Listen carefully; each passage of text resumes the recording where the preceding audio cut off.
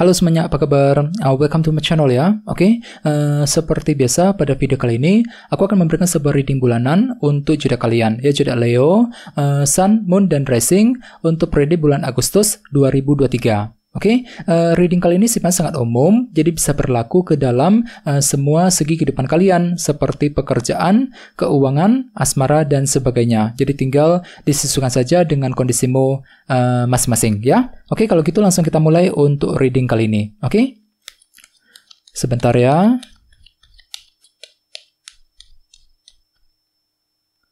Oke. Okay.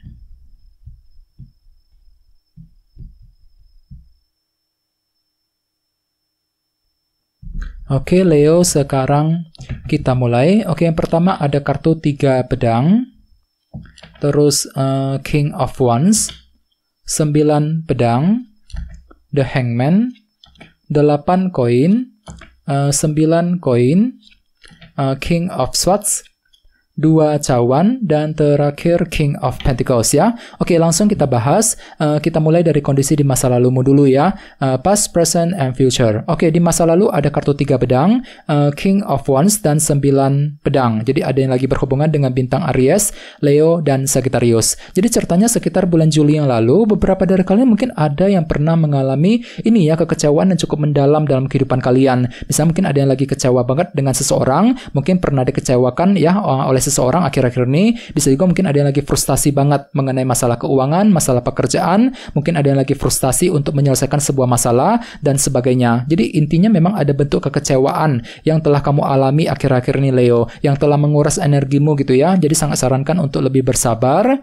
Oke, di bawahnya ada kartu King of Wands. Jadi ya, jadi memang ada ambisi besar juga. Tetap ada semangat tinggi untuk terus uh, mengejar tujuanmu. Uh, jadi misalnya mungkin ada lagi semangat tinggi untuk terus bekerja, mencari uang ya, semangat untuk menyelesaikan masalah tadi, tiga pedang, mungkin lagi semangat untuk mendekati seorang, dan sebagainya. Jadi, jadi tetap ada semangat tinggi untuk terus mengejar target dan tujuan ya selama bulan uh, Juli. Akan tetapi lihat di bawahnya ada kartu sembilan pedang. Jadi beberapa dari kalian sepertinya lagi banyak pikiran akhir-akhir ini Leo ya. Mungkin ada suatu hal yang membuat dirimu itu kepikiran terus, terlalu overthinking gitu ya, terlalu dipikirkan secara terus-menerus, menerus uh, sampai-sampai kurang tidur, kurang istirahat jadinya ya. Jadi sangat uh, disarankan untuk lebih berpikir tenang, lebih berpikir berpikir yang positif ya. Ini sudah terjadi sekitar bulan Juli.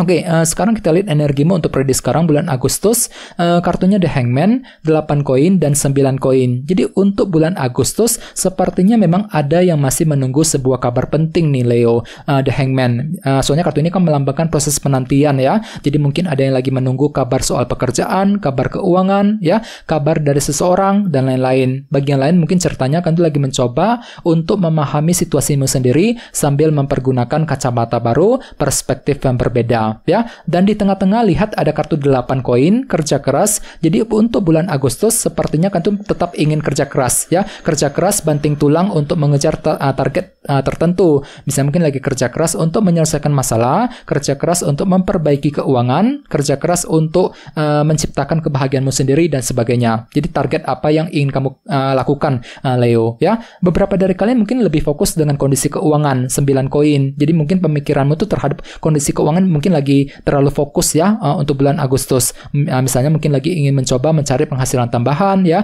uh, mengambil keputusan mengenai finansial, mungkin lagi ingin mempertimbangkan cara-cara baru untuk menghasilkan uang ya. Bagian lain kartu ini juga melambangkan rasa berkecukupan ya. Jadi sepertinya untuk bulan Agustus kondisi keuangan itu memang cukup lancar kok ya. Ada rasa berkecukupan di sini dalam segi finansial dan keuangan ya. Cukup bagus energinya 9 koin. Oke, okay? uh, sekarang kita lihat energimu di masa mendatang mungkin akan terjadi sekitar bulan September. Kartunya King of Swords, dua cawan, dan King of Pentacles. Jadi untuk bulan September nanti pikiranmu uh, tiba-tiba akan lebih tajam Leo. Ya mampu berpikir tajam, berpikir cerdas untuk melangkah maju ke depan. Ya, uh, jadi mungkin ada solusi baru yang akan kamu pikirkan sekitar bulan September. Mungkin ada cara baru, cara yang lebih cerdas yang akan kamu gunakan untuk mengejar sebuah target. Ya, beberapa dari kalian mungkin lagi ber, uh, berniat juga untuk menjalin ataupun memperbaiki ya sebuah bentuk hubungan dua cawan, hubungan dengan orang-orang yang ada di sekitarmu, mungkin dengan teman, dengan keluarga, ya dengan orang yang kamu sukai dan sebagainya sekitar bulan September.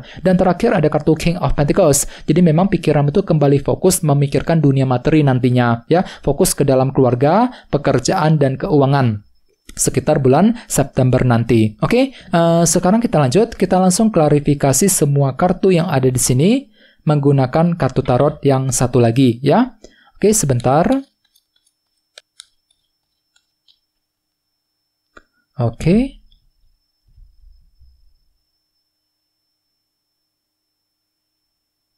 Oke Leo, sekarang kita mulai. Yang pertama ada kartu tujuh tongkat. Jadi memang ada perjuangan besar yang telah kalian lakukan untuk apa? Untuk mencari jalan keluar terhadap sumber kekecewaan yang telah terjadi selama ini. Jadi mungkin ada yang lagi memperjuangkan target sendiri gitu ya, uh, secara sendirian. Uh, tapi entah kenapa memang ada rasa frustasi di sini yang perlu untuk dihadapi dan diselesaikan terlebih dahulu. Tiga pedang. Ya, ini sudah terjadi sekitar bulan Juli. Oke, di bawahnya ada kartu lima cawan. Oke, jadi memang ada juga yang lagi kurang pede di sini ya, kurang percaya diri. Untuk apa? Untuk mengejar ambisimu sendiri Leo, uh, King of Wands ya. Uh, jadi sangat sarankan untuk lebih uh, semangat lagi ya. Dan di bawahnya ada kartu dua tongkat, rencana baru. Jadi memang ada yang lagi terlalu overthinking mengenai rencana yang sedang kamu susun Leo. Ya, terlalu banyak pikiran gitu ya. Mungkin uh, rencanamu itu uh, telah kamu pikirkan secara sangat mendalam, terlalu banyak dipikirkan rencanamu ya. Jadi kira-kira rencana apa yang telah kamu susun akhir-akhir ini? Mungkin rencana untuk pindah kerja, rencana bisnis, rencana keuangan, ya rencana terhadap uh, seseorang dan lain-lain. Ini sudah terjadi sekitar bulan Juli ya.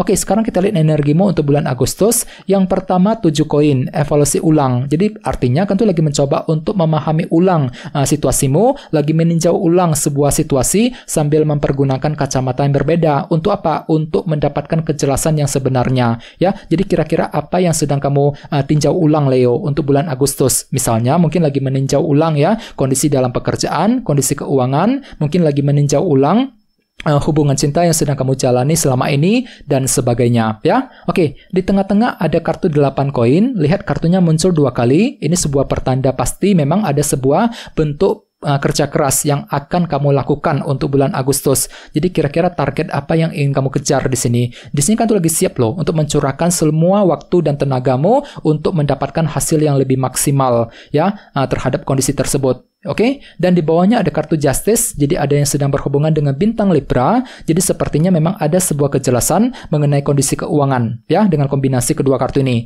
Jadi bagi kamu yang lagi mencari uh, uh, mencari kejelasan akhir-akhir ini, tenang saja, Kejelasan tersebut akan kamu dapatkan untuk bulan Agustus, terutama yang berkaitan dengan segi ke, uh, keuangan ya, uh, 9 koin. Oke, okay? uh, sekarang kita lihat energimu untuk masa mendatang. Yang pertama kartunya Page of Swords, jadi artinya memang ada sebuah uh, rasa penasaran uh, penasaran di sini. Kau itu lagi penasaran banget untuk mendapatkan kejelasan, untuk mendapatkan informasi penting dan semuanya itu akan kamu gali menggunakan pikiran cerdasmu uh, si Raja Pedang. Ya, oke. Okay? Uh, di bawahnya ada kartu The Tower, ada perubahan pikiran juga di sini ya jadi mungkin pemikiranmu terhadap seseorang yang terdekat akan sering berubah. Ya, jadi hati-hati Leo. Jadi misalnya mungkin ada yang tiba-tiba mengalami perubahan eh, pikiran terhadap seorang teman, terhadap orang yang kamu sukai, mungkin terhadap anggota keluarga di rumah dan lain-lain. Ini akan terjadi nanti sekitar bulan bulan uh, September ya. Dan terakhir ada kartu 9 tongkat, perjuangan besar. Jadi memang ada perjuangan besar yang masih akan kamu lanjutkan untuk apa? Untuk memperbaiki ataupun uh, meningkatkan ya kondisi dalam dunia materi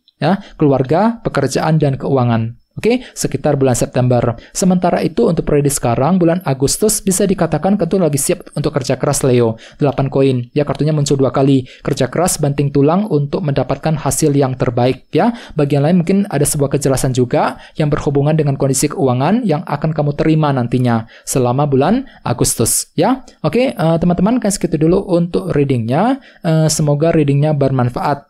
Ya, uh, jika kalian suka dengan video ini, jangan lupa untuk subscribe dan sampai jumpa di video berikutnya. Terima kasih. Bye-bye.